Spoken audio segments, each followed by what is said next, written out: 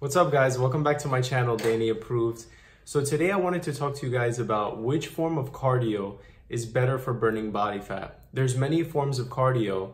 Um, there's high intensity interval training and high intensity interval training is when you're basically uh, training at a really fast pace, as fast as you can, and then you bring your heart rate down. It's usually something like a minute on, a minute off of something like sprinting, using the battle ropes and going really fast um, using a bike and going at extremely fast pace and then taking it down.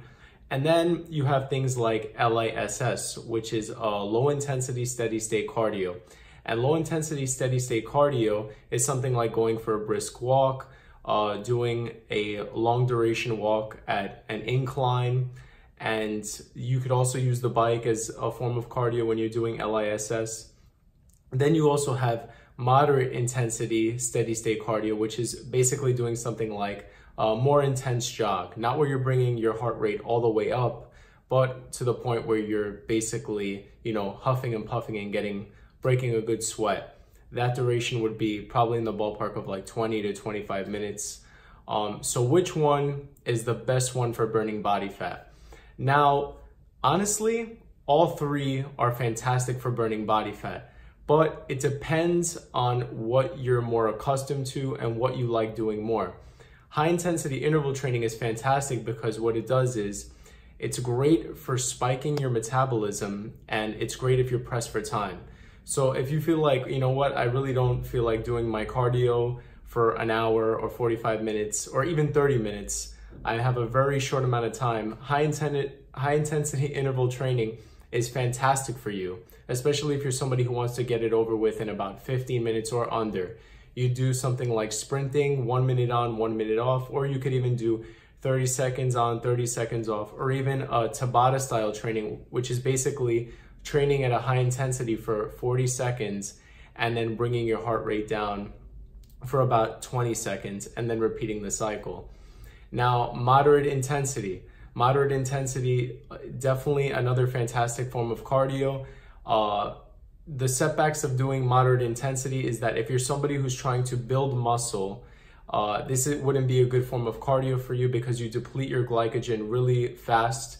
And then this basically takes all the water and sugar out of your muscles.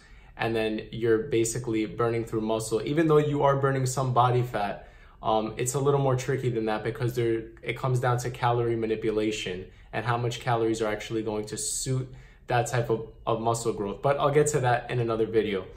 Low intensity steady state cardio. These are, these are things like the Stairmaster, incline walking. Think of it like if you were on a treadmill and you put the incline at about a 12 to uh, 14, or let's just say 12 to 13, and the speed at about a 3.7 to a 4 now, it's it's challenging, but at the same time, you're able to maintain a conversation with somebody next to you. The perk of doing this is that uh, you will burn a lot of calories. It will not spike your metabolism if you're somebody who already has a fast metabolism. And what it does is since your metabolism isn't being spiked, you're going to burn through body fat cells much more efficiently than you would if you were doing high intensity interval training or moderate intensity steady state. All these words are so confusing, but um, there's so many different forms of cardio that can be fantastic for you.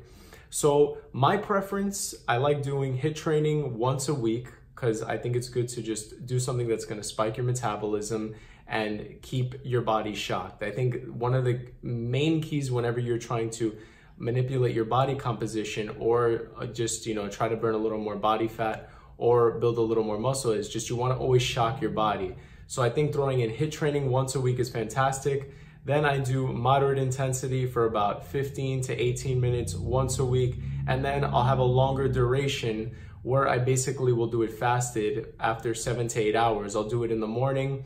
And this is really efficient for definitely uh, metabolizing your fat cells as opposed to burning through carbohydrates or muscle. So the key is though, out of all these different forms of cardio, you definitely want to be consistent. I'm a huge believer in consistency and that if you do things every single day or if you do things to change it up, at the end of the day, if you're always consistent, you're going to see results. That's the number one thing. So pick a form of cardio that you can adapt to. And I must say this, if you're somebody who um, is not is new to the gym and you've never worked out before, I'm never going to recommend that you go into the gym and start doing sprints right away or, you know, jack up your heart rate back and forth because you're not used to doing that. So if you're somebody who's never been to the gym before, you want to start off slowly.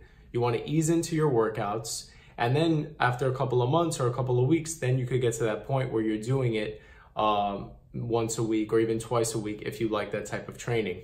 And moderate intensity, lower intensity, this is fantastic for people that are uh, accustomed to going to the gym and accustomed to working out. And uh, as long as you make sure you're eating a healthy breakfast or eating something before you go to the gym, preferably some great source of carbohydrates, that's going to be fantastic for uh, fulfilling these cardio needs.